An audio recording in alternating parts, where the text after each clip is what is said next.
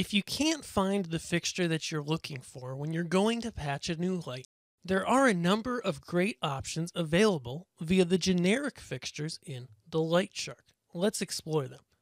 To do that, we're going to go to our three dot menu, into our patch, and then to add fixtures.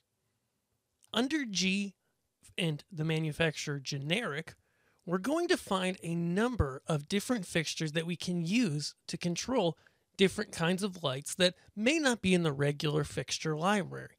Some examples of these would be uh, dimmers, various LED lights, etc. And there's really a lot in here. And so I want to go over these because we get a lot of questions asking how to find certain fixtures, and a lot of those answers can be found within these generic profiles.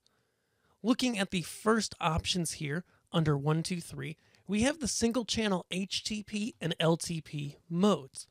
This is perfect for dimmers or for LED fixtures that just have white, that may have one channel for a just single channel unit or two channels for a 16 bit unit.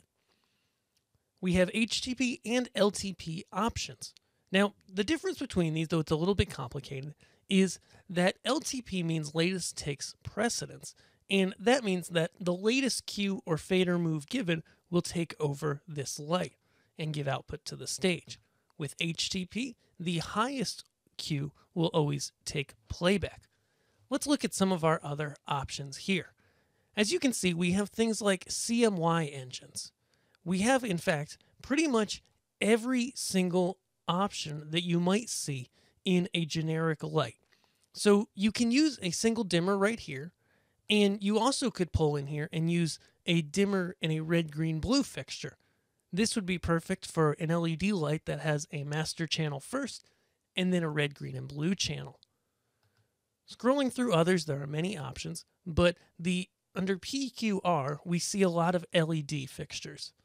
If the LED fixture that you're looking for isn't found under the manufacturers above, and this can happen a lot as there are many smaller manufacturers out there, then you can simply put it into a three channel RGB, RGBA at four channels, RGBA UV, etc.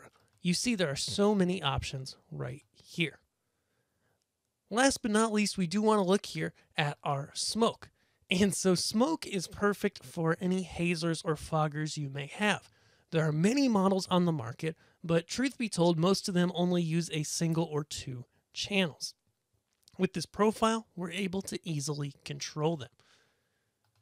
So next time you can't find a fixture or you're not sure where to go to control a light, pull out the manual, see if there's a simple mode.